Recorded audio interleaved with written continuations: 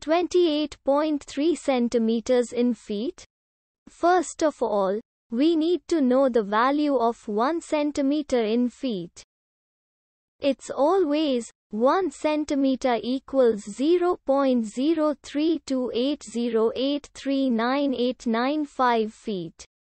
Now we have to multiply 0.03280839895 by 28.3.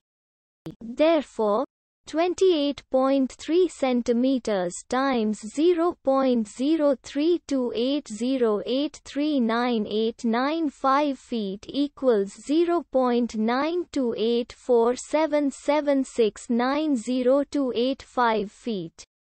So, in other words, 28.3 centimeters equals 0.928477690285 feet.